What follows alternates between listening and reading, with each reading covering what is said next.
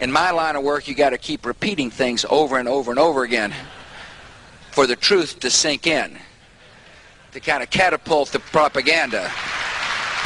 Iran's nuclear program. Threat Israel's destruction, the world's most dangerous weapons. Nuclear weapon denies the Holocaust, threatens to wipe Israel off the map, sponsors terrorist groups committed to Israel's destruction. Nuclear armed Iran, Iran nuclear weapon. An Iranian nuclear weapon, terrorist nuclear weapon. Brutalized its own people, carried out terrorist attacks, Iran nuclear weapon.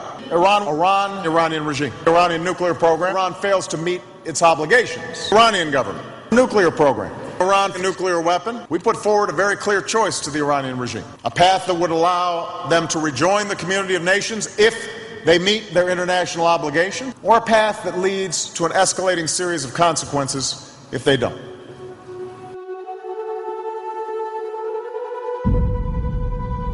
There is only one nation on earth that has actually used a nuclear weapon of mass destruction on the civilians of another country. And that's the United States. So if you want to be worried about somebody's possession of nuclear material suitable for use in nuclear weapons, let's start with the country that's actually done it. If you want nuclear disarmament, let's have everybody disarm. But this idea of saying our nuclear bombs are good and your nuclear bombs are bad, that's not going to play. Not in the modern world. This screaming at Iran, ooh, you're bad, you're bad for having nuclear technology. Here are the actual facts about what is going on. Iran has signed the Nuclear Non-Proliferation Treaty, and so has the United States of America. Under the terms of that treaty, Iran is allowed to have nuclear power, medical isotopes, and other peaceful industrial uses of nuclear technology. Under Article 4 of the Nuclear Non-Proliferation Treaty, the United States is obligated to assist Iran in the construction of peaceful nuclear facilities, which is a really good way to make sure nothing underhanded and clandestine is going on. But in ignoring their obligations under Article 4 and in trying to use military threat to coerce Iran into surrendering their rights under the Nuclear Non-Proliferation Treaty, it is the United States, not Iran, that is in violation of international law. Now, Iran allows IAEA inspections, and innuendo and rumors aside, absolutely no evidence of weapons development has been found. It's a repeat of Iraq Ooh, they've got weapons of mass destruction. They're dangerous. They're going to do this. We must invade and destroy them. They're just lies used to sell another war. Now, Iran has not initiated a war of conquest in 200 years. This is a claim that neither the United States nor Israel can match.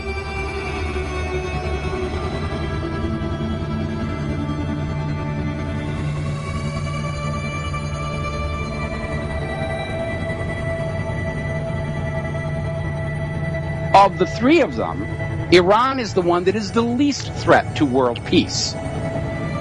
Now, Israel, on the other hand, has never signed the Nuclear Non-Proliferation Treaty and does not allow IAEA inspections.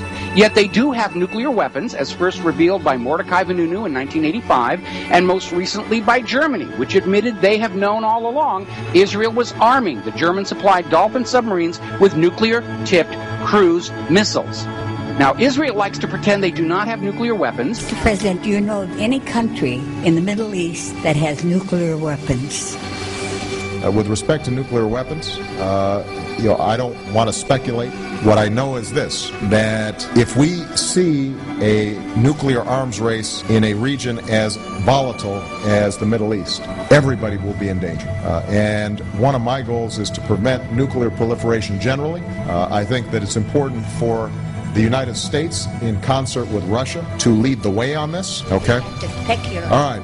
Um, Sam Stein, Huffington Post. Where's Sam? And the U.S. government goes along with this gross deception because it is illegal under the Symington Amendment to the Foreign Appropriations Act and under the Glenn Act for the U.S. government to send your money to any nation in possession of nuclear weapons technology that will not sign the Nuclear Non-Proliferation Treaty and refuses IAEA inspections, which is Israel. But there's no question, Israel is a nuclear power, and worse, As documents uncovered from the former government of South Africa officially confirm, Israel has been engaged in clandestine sales of nuclear weapons, which is the very activity the Nuclear Non-Proliferation Treaty is designed to prevent.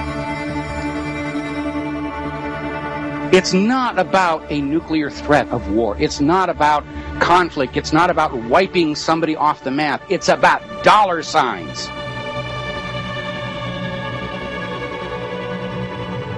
Israel's the sixth largest nuclear power on Earth. They have bombs, they have delivery systems, they have submarines loaded with nuclear tipped cruise missiles. Nobody's going to attack them. Iran is not a threat. They're not in the habit of invading other people. We need to go back and remember the lie of the century. This whole thing about Saddam's weapons of mass destruction. He's got nukes, he's got germs, he's got chemicals. Just constant pounding, selling us that war. Look at how many media outlets, how many governments, how many so called academics, how many officials people with gold things hanging on the walls and medals around their neck to trick you into thinking that they're truthful and honest and not to be listened to. And they all took part in the lie that Saddam Hussein had illegal weapons of mass destruction. Saddam Hussein, weapons of mass destruction. Iraqi regime, biological chemical attack, 45 minutes. Nuclear bomb. Weapons of mass destruction. Weapons of mass destruction. Saddam, nuclear weapons. And it's all the same people lying to you to get what they want, which is your money and your children's lives and your obedience. And the, the claims about Iran are just more of the same thing. It is U.S. DA choice. Bullshit. The media are almost literally exploding with bullshit.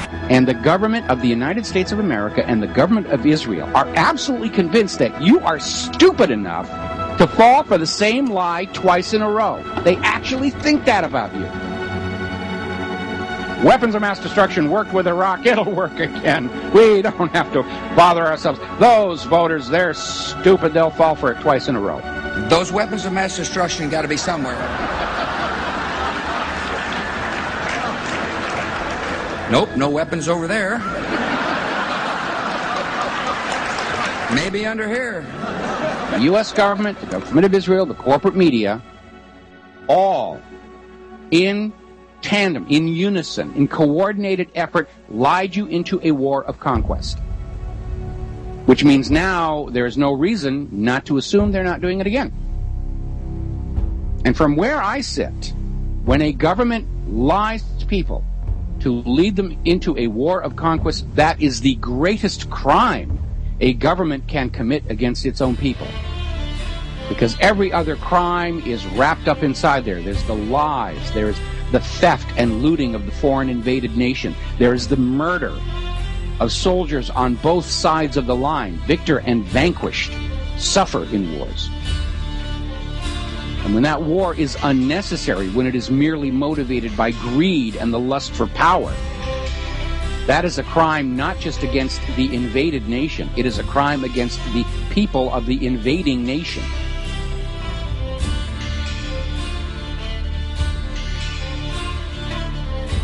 The corporate TV news are lying about everything except the sports scores and the weather, and they're not even all that good on the weather. That's why we call them prostitutes. Iraqi nuclear weapons. Nuclear weapons. Weapons of mass destruction. Mushroom cloud. The mushroom cloud. Iraq mobile biological weapons labs. Saddam Hussein 500 tons of sarin, mustard, and VX nerve agent. Saddam Hussein chemical agents. Saddam Hussein 38,000 liters botulinum toxin. Aluminum tubes. Nuclear weapons. Nuclear weapons. Saddam Hussein uranium from Africa. Iran nuclear weapon. Iranian regime. Iranian government nuclear weapons. Iran's leaders. Iran nuclear weapon. Iran. Iranian program. Iran nuclear weapon.